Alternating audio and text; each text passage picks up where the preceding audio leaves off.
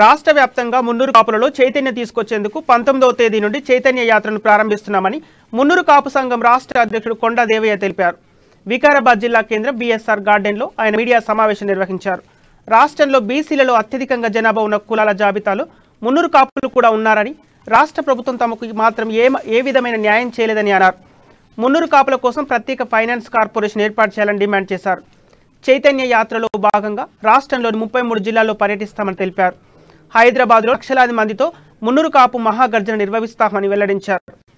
నాకు మేము Munnuru Kapu finance corporation చాలా రోజుల నుంచి తెలంగాణ వచ్చినప్పటి నుంచి అడగడం జరుగుతుంది.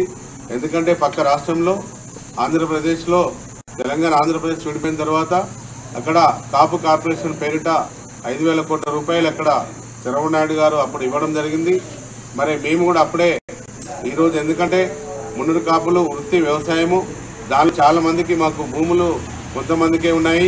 అరవై డెబ్బై శాతం కూడా ఎంతో పేదరికంలో ఉన్న వారికి ఈ కార్పొరేషన్ వచ్చినట్టయితే మాకు ఎంతో ఉపయోగపడుతుందని మేము అడగడం జరిగింది. మరి కార్పొరేషన్ ద్వారా మేము మా పిల్లలు నిరుద్యోగంలో ఉన్న పిల్లలకు ఒక ఇండస్ట్రీలు కానీ బిజినెస్ పెట్టుకోవడానికి సబ్సిడీ లోన్లు కూడా తీసుకోవచ్చు.